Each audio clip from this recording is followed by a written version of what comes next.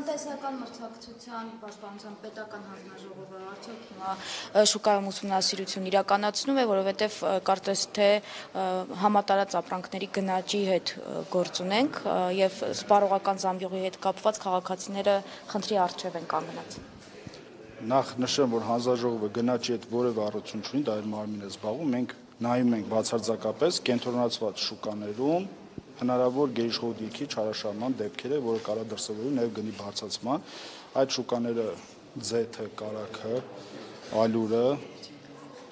եւս մի քանի շուկա այդվում է բենզինը, այս պահի նայվում է, այսի դեկտեմբերի եւ դեկտեմբերի վերջի հատվածում դրանից հետո տեղի ունեցող փոփոխությունները կարծում եմ մյուս շաբաթ հրապարակում կունենանք, արդյոք այդ գների բարձրացումը օբյեկտիվ են թե ոչ։ Նախնական տվյալներով մենք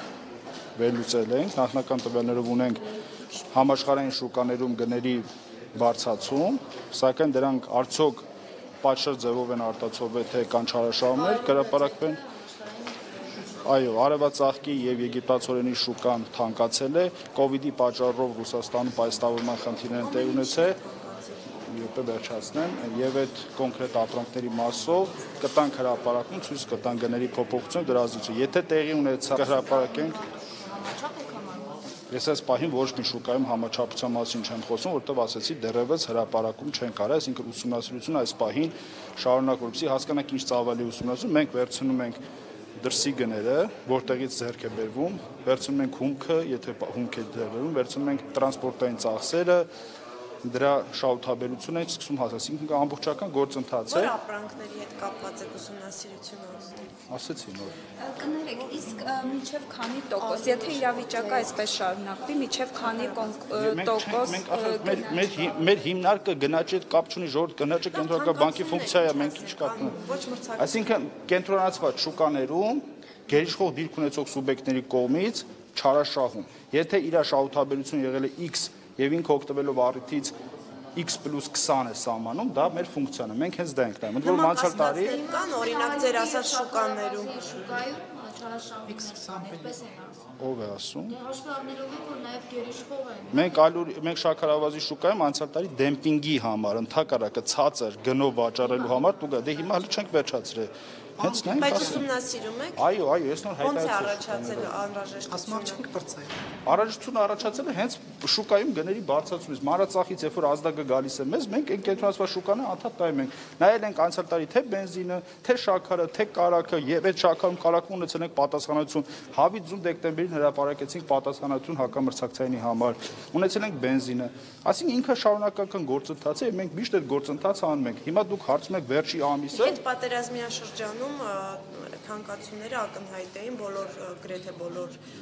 տեսակի ապրանքների Մենք սննդամթերք, թե- շրջանում մի հատ հրապարակում ունեցել ենք նոյեմբերին, դրանից հետո մյուս հրապարակումը կլինի, ասում եմ, կարծում եմ մյուս շաբաթ, որովհետև հունվարին կային ոչ աշխատանքային օրեր եւ այդ ազդեցությունը պետք է մի փոքր տևական ժամանակ լինի, որովհետեւ մենք ճիշտ գնահատենք։ Պարոն Գևորգյան, արդյոք ՏՄՊՊ-ն ուսումնասիրում է, թե այդ ապրանքները, որ թանկացել են, տնտեսվարողը իր պահեստից է, հա, հանում առիթավորվում է, թանկով ծախում է, թե իսկապես թանկ ներգրածն է ծախում։ Միանշանակ Նարեկ ջան, բնականաբար հենց դա էլ գոր, այսինքն կա հաշվապահական սկզբունքներ, ստանդարտներ, որոնցով իրենք պետք է ասեն։ Միջին կշռվածով է աշխատում, թե առաջին մուտք, առաջին ելքով է աշխատում, եւ ինքը պարտավոր է ցույց տալ հիմնավորել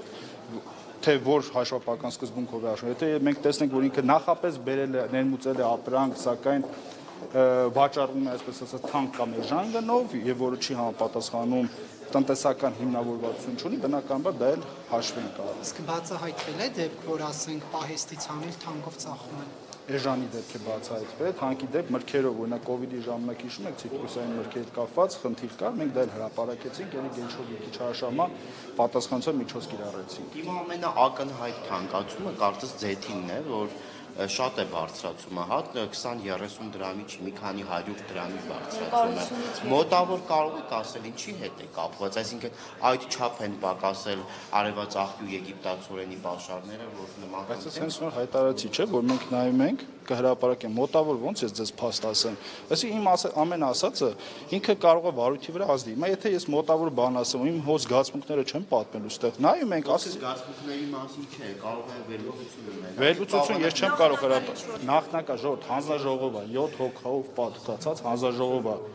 Ես չեմ կարող նախնական բան ասել։ Ես ասում մենք նայում ենք, հրապարակել ենք մի հատ նոյեմբերին, մի հատ էլ հիմա կհրապարակենք։ Ցույց ենք տալիս, ասին բոլոր թվերը հրապարակա ցույց ենք տալիս։ Եթե ինչ որ մեկը կասկածում է, որ այդ վերլուծություն լավը չէ, ասում է այստեղ այսպես խնդիր ենք տեսնում եւ մենք դրան ենք նայում։ Հələ տես դեպք չի գնացվել։ Նախնական առաջի ազդակը գալիս է, մենք վերցնում ենք նայում, ասում գինը բարձացել է թե չէ, հումքը բարձացել ու հարևած աղիքը Եգիպտացիոն բարձացել է, Ռուսաստանից ենք ներկրում, կոնկրետ ապրանքը, կոնկրետ խանութում բարձացել է թե ոչ այս շղթան հետ են գնում։ Եթե հասկանում ենք, որ բարձացումը համաչափ է, հրաապարակում ենք, ասում ենք ժողովուրդ, սա թվերն է, սա համաչափություն։ Եթե համաչափ չէ, միանգամից սկսում ենք վարչական վարույթ եւ պատասխանության ենք ենթարկվում։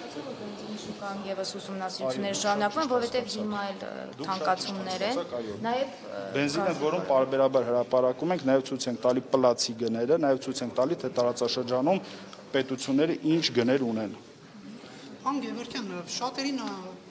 շատ ընտանիքների այս գնաճը այսպես նեղություն, հա, նեղվում են մարդիկ։ Պաշտոնյաները նեղվում են այս ամեն ինչ։ Օրինակ դու ձեր ընտանիքի համար սա խնդիր է։ Ես ընդհանրապես երբ որ հասարակության մեջ տեղի ունեցում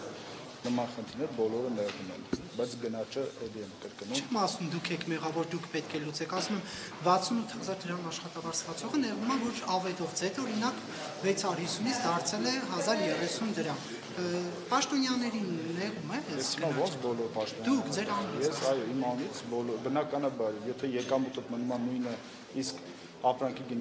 է, բնականաբար բոլորն իրենց վրա դա զգում են։ Դա հասել բան։ Շնորհակալ եմ Ժողովրդի ջան, հարցերը Բայց պաշտոնյաների եկամուտները բարձր չի։